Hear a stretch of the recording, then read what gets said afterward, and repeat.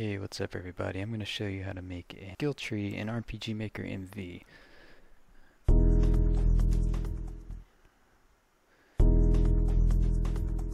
Alright, so what we've got right here is just your main map.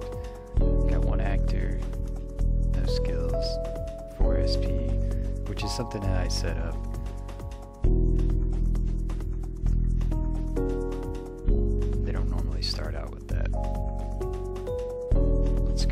So, first thing, if you only have one actor in your party, you only get to select them. I'm gonna go over here, this tree, pull some party members out of the tree, take the tree with me. Okay. Now I can select all of them because I have four party members, and they all have 4 SP. So, let's go into is what it looks like. So you have little nodes here. Everything here is clickable, except for this. This is part of HUD Maker. It just shows how much SP you have to spend. You can click on everything here. And this I have labeled as max level skills. It's just kind of an idea I was throwing around. I'm actually not even using this,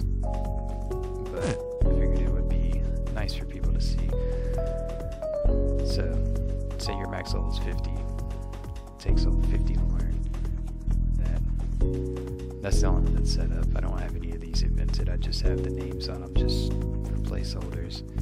You can name them whatever you want. You can put you can put the little notes wherever you want. Draw the lines. This back image is and all these lines is a parallax.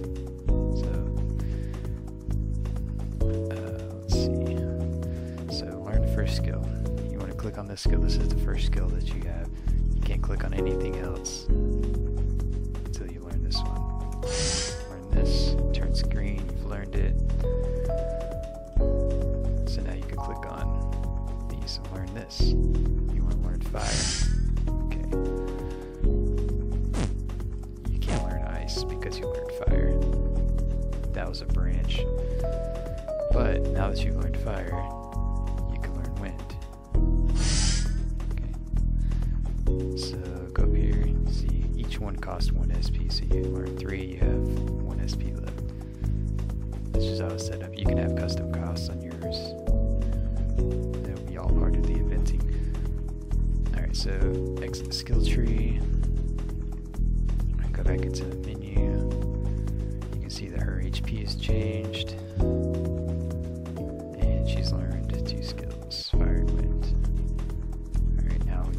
reverse that. You want to unlearn the skills, you can unlearn them. Now, you can't just go to any skill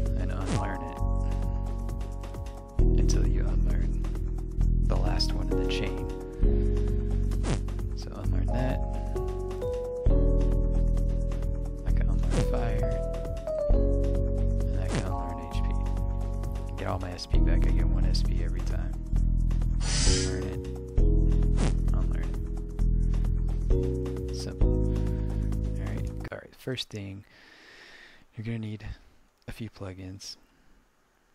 Uh, you got I got some Yanfly plugins, so obviously the core engine, uh, skill core, uh, job points. So yeah, that's going to dictate how you can learn and unlearn skills.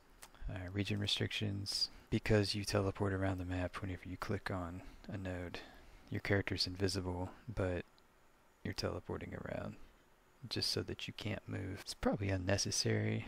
This is how I have it set up. Let's go through the rest of the plugins. Uh, event mini labels, that's the names that you saw on each of the nodes and on the other events. It's not mandatory if you have custom icons, if you have a description that pops up when you click on an icon. Very useful, very useful for more than just this. It's a really good plugin. Uh, Super Tools Engine, another great plugin. Uh, I had to use, have to have it installed because I'm using HUD Maker, which gives me the ability to have the uh, SP amount display. Uh, this so it allows you to have click events and a lot of other stuff. But what I'm basically just what I'm using is uh, this right here. Click activate. If you put this in events note tag, then it triggers when you click on it. Then we got disabled choice, which is what I had check whenever you only have one party member. You can't select party members 2, 3, and 4. So anyway, this, the mouse plugin, every event in the skill tree has this. You just put this right here, click underscore activate with the exclamation point. So I'll go ahead and show you how I have my events set up. I do have common events, but real quick I'll show you this mini label tells you what it gives you and has a color assigned to it. That one's that's red because you haven't learned it yet, and the buffer just is to move the label. This one, this common event, is what every event has on it, and it's what allows you to teleport to the event. It saves its own variable ID. When you click on it, it gives you the option to learn it. If you want to learn it, then it runs this common event to reduce your SP by 1. And then gives your actor, your current actor that's selected for the skill tree, whichever one you're learning skills on, gives them 10 HP. When you learn a skill, it turns on its self switch A, which allows you to unlearn it. When you've learned it, it turns green. That's color number 11. It gives you your SP back if you want to unlearn it, and then reverses the effect. And then the last page, this is self switch B. It just basically does nothing. It it shows a green label and you can still teleport to it, but you can't do anything with it. And that is managed by linked events. So this is the next skill in the link. This set this asks if the self switch for event 3 on this map game map map ID that's this map. Ask if it's on. And if it is then you can learn this skill. If it's not then it won't do anything. It also asks if number 23 is on. This this is 23 your event numbers are going to be different. Um, so if if you've learned this skill you can't learn this one and vice versa. This one this event has the same thing to check for this skill because of that branch depending on the format, there's a lot of different things that you can do. You can have them branch off 20 different ways. You just have to check for all 20 of those skills. And so again, when you learn it, you lose one SP. This one is the fire skill, so it gives you fire. And then this right here, this is probably the most important thing. Turning on self switches. Now this turns on self switch B for event 3, which is this purple orb. That's my first skill in the chain. Self switch B, when it gets turned on, it doesn't allow you to unlearn this, so you can't learn this, learn this, and then unlearn that because you, you don't really care about 10 HP, you want the fire skill. No, you have to have that to have this. And like I said, this is a parallax. Like basically just take a background image, you screenshot your map with all your your nodes on it. Screenshot it without the parallax, obviously. And then go into an image editing software. Make the parallax, draw the lines, and then come and put it into the game. Alright, so now these are all pretty important, the common events. So when you're in the skill tree, this one teleports you to whatever event that you have clicked. It just saves the variable of that event, and then transfers you. It needs to be on none so that you don't have a screen fade. It just creates the illusion of not transferring. And I'll show you all the variables that I have. Ten, I got 10 variables. That's what this feature takes, for me anyway. So you've got these three, teleports you to an event. You got these three that saves your map ID whenever you actually go into the skill tree so that whenever you leave you'll go back to right to where you were. Chances are if you have any kind of teleport system in your game already you're already gonna have these three or these six. Actor select whenever the actor list comes up whenever you go into the skill tree you select an actor that just saves the ID of that actor. uh, party count that gets the number of people in your party so that you can't select a choice that isn't there. That's for uh, the choice disable plugin. Uh, JP, anyway, it's for the, it's a job points plugin. That's that's what refreshes your job points and gets the number of job points that you have when you go into the skill tree. And level check, that's this is totally optional, but that's just for that level 50 skill. You might not have a max level skill section, but you can you can restrict nodes by level. You can restrict them by variables, by switches, by story progression, by quest completed, by you know professions, by you can have make them have item costs. You can pretty much do anything you want. Yeah, it's just kind of like Yanfly skill learn system.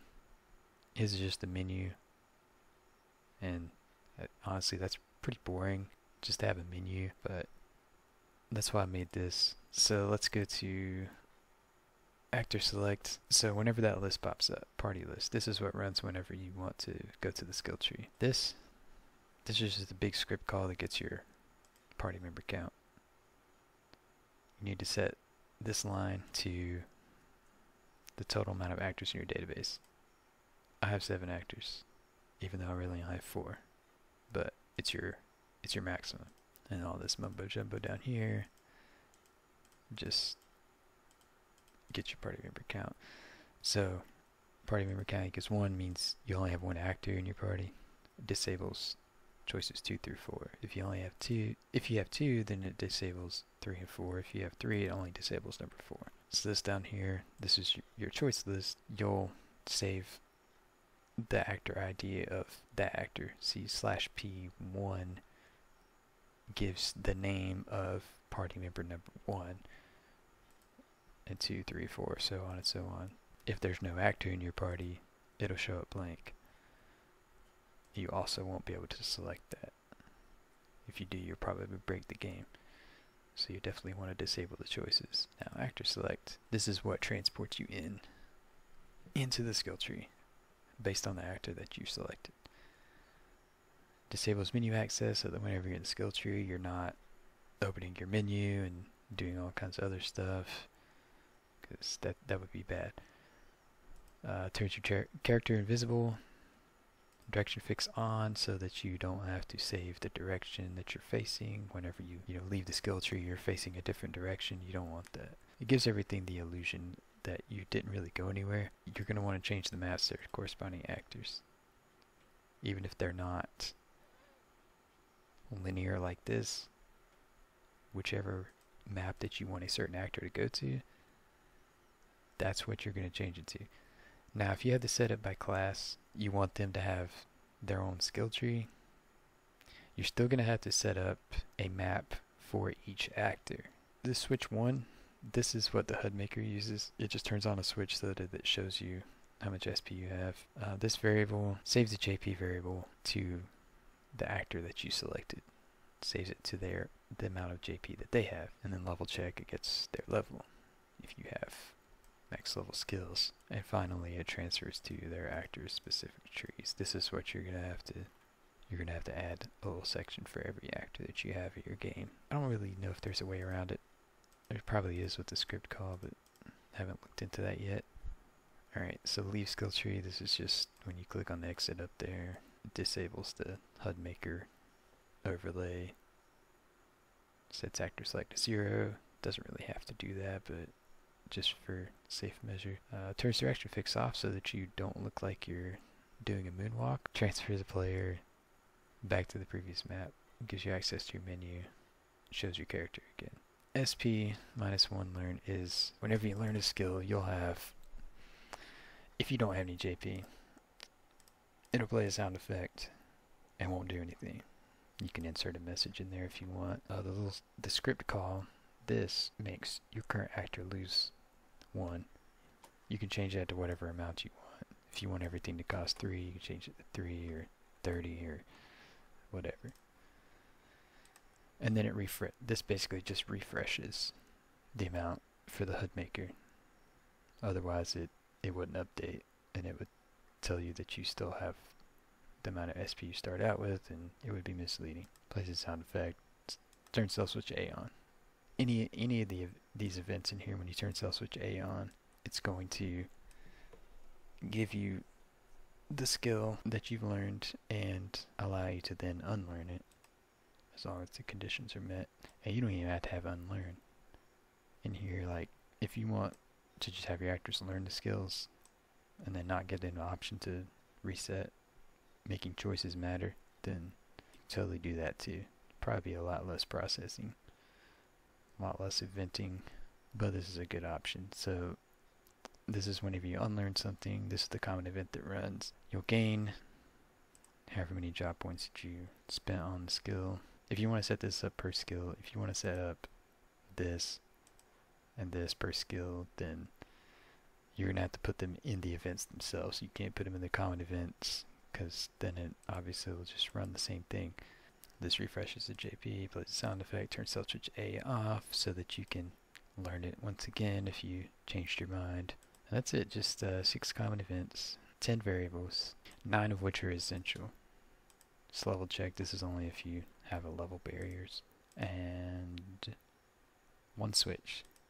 So that's it, you just need one switch and 10 variables. Got any questions, just let me know in the post. Just post a reply or send me a private message. I'll be more than happy to answer your questions. Alright, peace.